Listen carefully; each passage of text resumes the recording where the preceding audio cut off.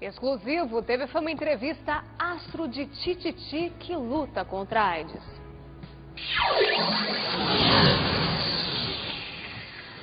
Quem vê Rodolfo Botino tão bem, nem imagina as batalhas que enfrentou nos últimos anos. Portador do vírus HIV, lutou também contra um câncer de pulmão e uma anorexia severa. E venceu.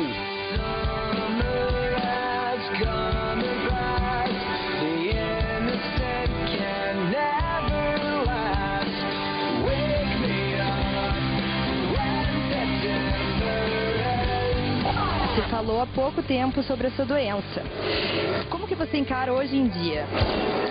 Não tem, é como se fosse uma diabetes, é como se fosse uma diabetes. Não tem o menor problema, não tem o menor problema, me cuido, né?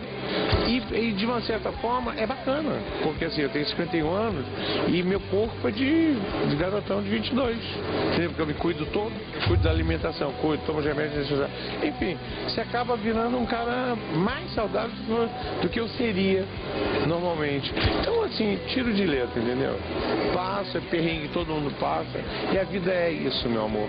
É, sabe, matar um leão por dia e achar graça nisso.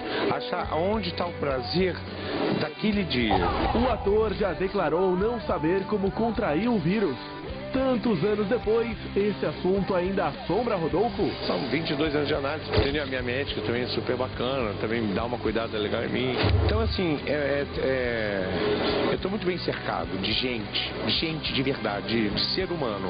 Não estou nem falando de, da qualidade de profissionais que são e dos amigos, qualidade de seres humanos. Essa superação toda, assim, mudou a sua postura de antes e depois? Não, não, não, nunca penso em antes e depois. Eu sempre fui a mesma pessoa.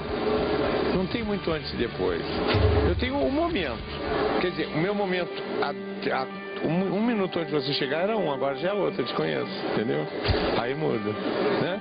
Porque a vida muda a cada segundo, né? Cada esquina, cada direção que você tomar, uma você pode ser superado, outra você pode achar uma, um bilhete sorteado da Mega Sena, não é verdade? Não sei lá.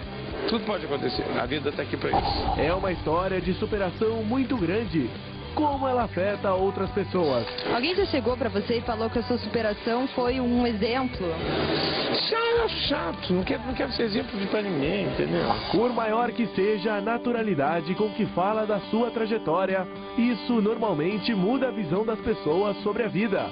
O que mudou na visão de Rodolfo? O prazer de cumprimentar o jornaleiro que vem de jornal. O prazer de bater um papo legal com o padeiro, sabe? Com, com, seus, com seus amigos também, com seus parentes, mas tendo sempre. É, pode parecer piega, mas tendo sempre um amor dentro de você muito grande. Que aí supera tudo, supera tudo. Qualquer onda, o amor está lá para isso, para ser usado todo dia, todo tempo, na comida, com você, dando entrevista entrevista, sendo filmado por ele, sendo entrevistado por ela, é isso que é importante. Longe das novelas, desde os anos 90, o ator trabalhou na primeira versão da novela Tititi. Você lembra dele? Fiz a primeira versão que eu amava fazer, amava. Qual que era o seu papel e quem que está representando ele agora? Não, não tem nessa versão. Era o Bob, que o Cassiano Gabos Mendes escreveu especialmente para mim, mas ele virava um punk. E hoje não teria mais graça ser um punk que não comia, todo sujo. Era eu e a Beth Goffman. E a gente fazia muito bem, nós éramos da turma da Lazinha. Lançaram até boneco Bob e Eduarda na época. Foi muito bom fazer, foi muito bom. Foi uma, um momento decisivo na minha carreira. Eu lembro que eu fui ser júri do Chacrinha, meu saudoso querido Chacrinha, e o Chacrinha disse assim, o Chacrinha parou o programa e disse assim, quando você aparece no Tititi fazendo Bob, eu e Dona Florinda, que era a esposa dele, a gente chega pra frente no sofá pra gente ver melhor e rir melhor. O primeiro elogio que eu tive foi do velho guerreiro, olha que coisa linda.